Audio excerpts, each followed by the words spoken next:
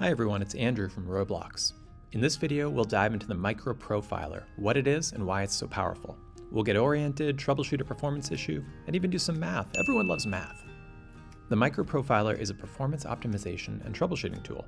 Rather than higher level averages like frames per second, the Micro Profiler lets you get down to the, well, micro level. You can examine individual frames and all of the processes that make up those frames. As you might imagine, this level of detail comes with a bit of complexity. I'm using Studio here for convenience, but the best place to use the microprofiler is in the Roblox client on the lowest end device that you want to support. To open the microprofiler, press Ctrl F6 on Windows or Command F6 on macOS. You'll see a bunch of bars appear at the top of the screen.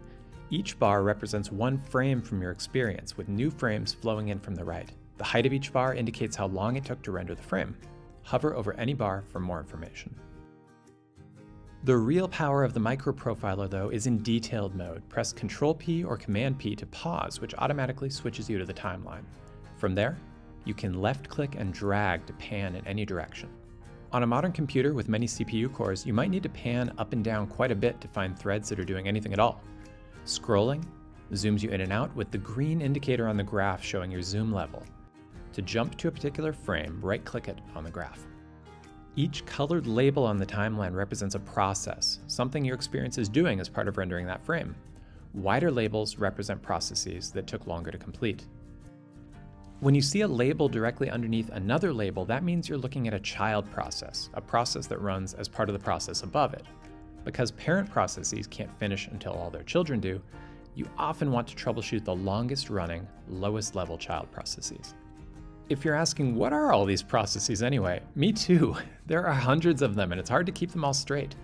So we documented the most important ones at create.roblox.com, link in the description. If the level of visual clutter is too much, use the Groups menu to filter the list of visible labels until you get to something more manageable. Let's examine a more concrete scenario. Generally speaking, we want Roblox experiences to run at 60 frames per second. There are 1,000 milliseconds in a second, so if we divide 1,000 by 60, we can see that we want a new frame every 16.67 milliseconds. If we get 59 frames after 10 milliseconds and then one frame after 410 milliseconds, that causes a huge jarring stutter even though the math works out to 60 FPS.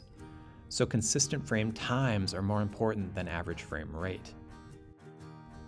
This experience doesn't feel quite right, even though the frame rate summary usually says 60 FPS.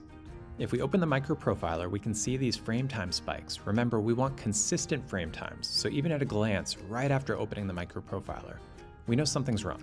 Some frames are taking way, way longer than others. If we examine one of the smaller frames, nothing jumps out, but if we look at one of the slow frames, whoa there, we can see this massive process in one of the worker threads, and in particular, a label called Shady Rays. The microprofiler provides a lot of clues for where to look. Shady Rays is a script running under runservice.heartbeat, and the problematic code seems to have to do with raycasting. Search for Shady Rays in the Explorer, open it, and examine the code. We can see the same runservice.heartbeat event that we saw in the microprofiler, so we know we're on the right track. This script is short, but if it were long or complex, we could wrap portions of it in debug profile calls. In this case though, the culprit seems pretty clear, so let's comment out the function and see what happens. Now our frames are all arriving in about 16.67 milliseconds, and camera movement feels consistent and smooth. This time, all we had to do was comment out some code, but in other cases, you might need to reduce the number of light sources, modify your environment to prevent high transparency overdraw, or spread a particularly intensive calculation across many frames. For more information on using the microprofiler to optimize your experience, check out the documentation at create.roblox.com. Thanks for watching.